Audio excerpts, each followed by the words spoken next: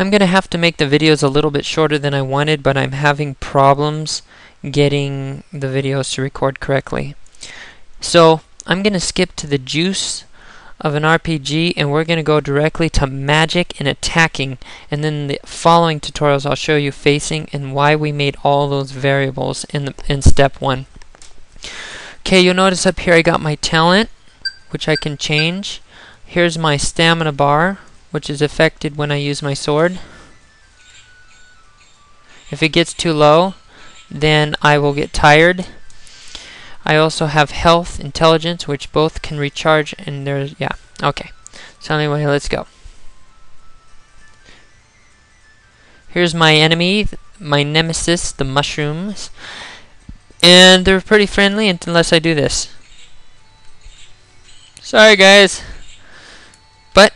Luckily for me, I have a shield and I can block him. Oop, if he touches me, it does hurt. My health is down. But against mushrooms, you should do fairly well. And unless I'm tired of using uh, my sword, I can use a fireball. Yeah, baby. And if it gets too tough out there, I could use a little bit of lightning, a little bit of thunder.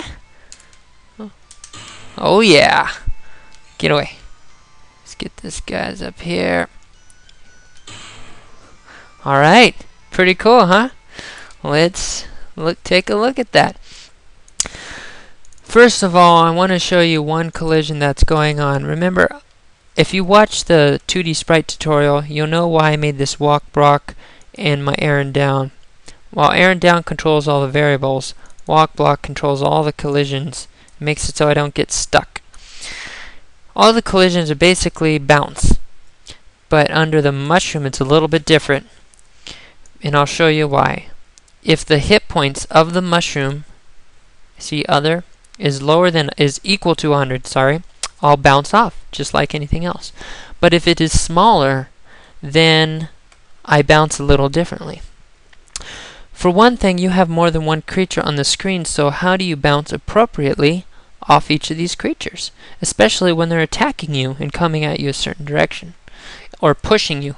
So if I stood still, the mushroom, whichever way he was going, would push me around. So I point to the the instance nearest the mushroom which is closest, I I set that to a variable called facing, and I or uh, a pointer and I face the direction. Sorry, point to me is the variable I'm making, and I face towards point to me.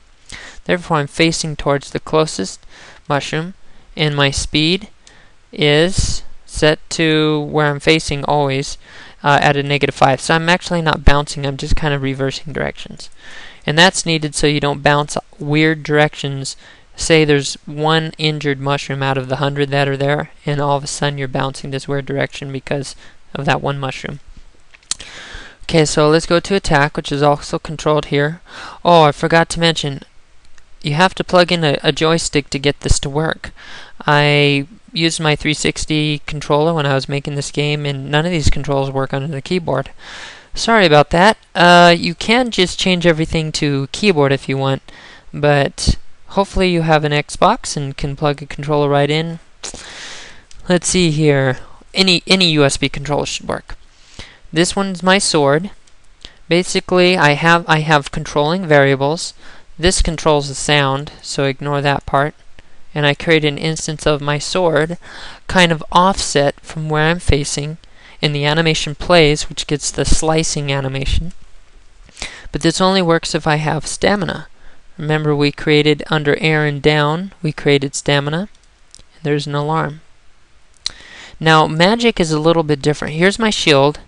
If I have a shield, meaning I uh, picked one up sometime, then it'll show a shield. Now here's talent. If my talent is equal to 1, it controls my fireball.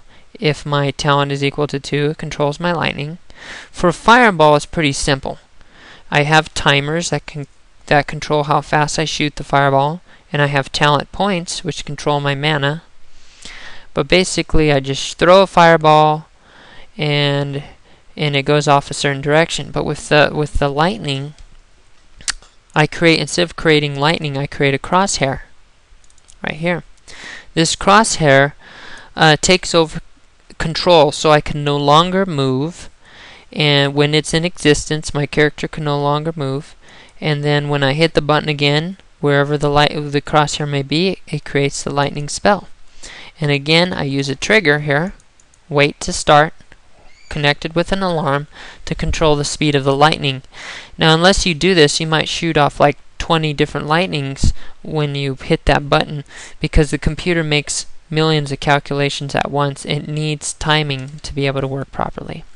And that is how you get your control uh, a general way a showing of how you get your controls to work in attacking